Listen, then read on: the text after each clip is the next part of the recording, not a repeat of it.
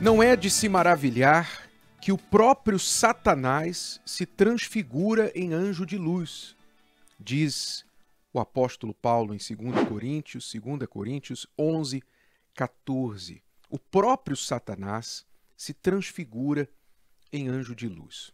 Ora, nós entendemos aqui por esta palavra que nós não devemos nos deixar levar pelas aparências.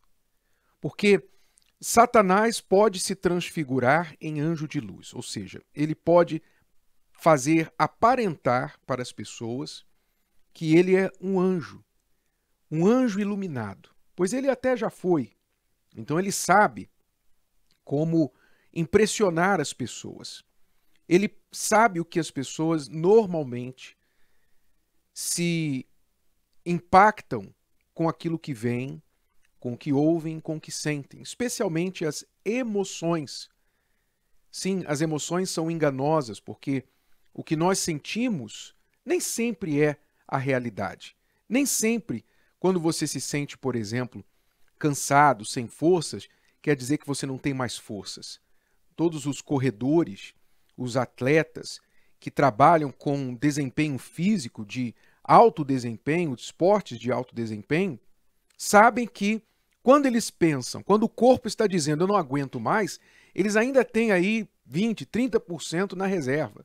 Eles podem continuar seguindo, porque o sentimento de cansaço não quer dizer que o corpo não tenha mais forças, mas o sentimento é muito real, porém enganoso.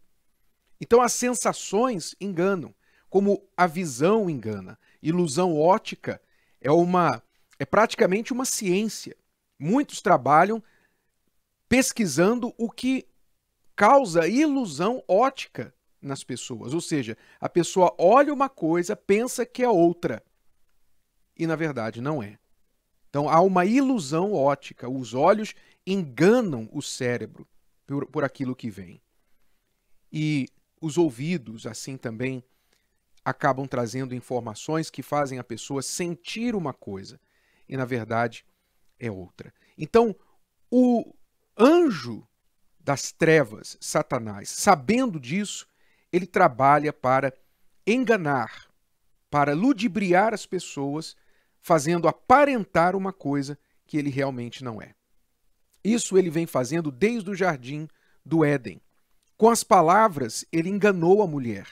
Com as palavras, ele fez com que a mulher olhasse para a árvore que Deus tinha colocado no centro do jardim e tivesse um olhar diferente para aquela árvore. Adão e Eva haviam passado por aquela árvore inúmeras vezes e sempre olhavam para a árvore e a viam como Deus a havia descrito um, uma árvore a qual eles não podiam tocar, porque aquilo ali representava o respeito, o temor a Deus.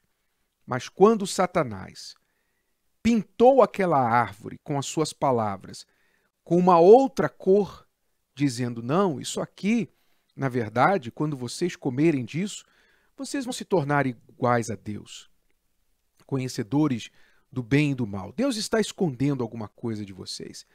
É, vocês têm que provar mesmo. Quando ele falou essas palavras e Eva as ouviu, então ela pensou: bom, então é assim.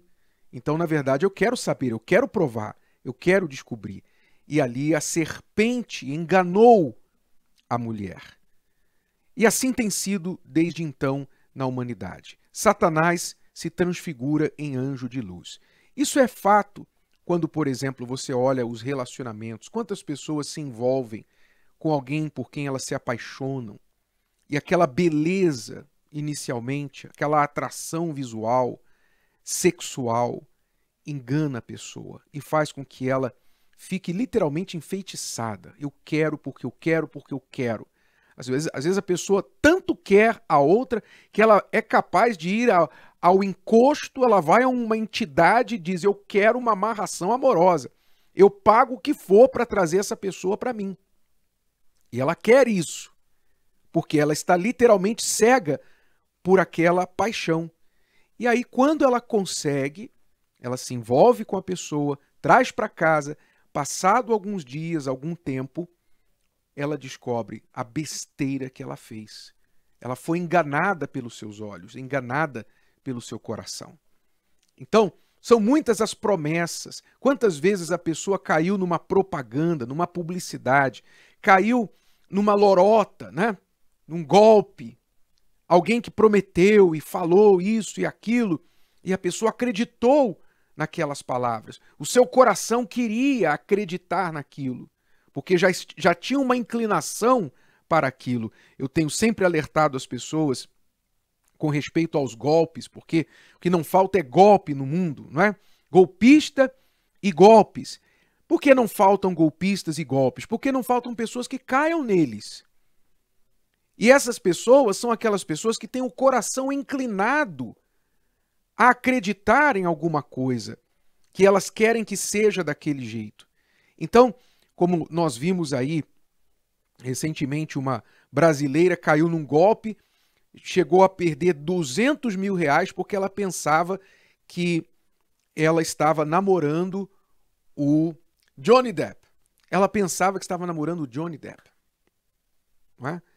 200 mil reais. Mas por quê? Porque antes dela cair nesse golpe, o coração dela já tinha sido contaminado pelo pensamento: ah, se eu tivesse uma pessoa como ele, ah, olha só, uma pessoa como ele, eu chamei a atenção dele. O coração já tinha dado golpe nela antes de ela cair no golpe que ela de fato caiu na internet.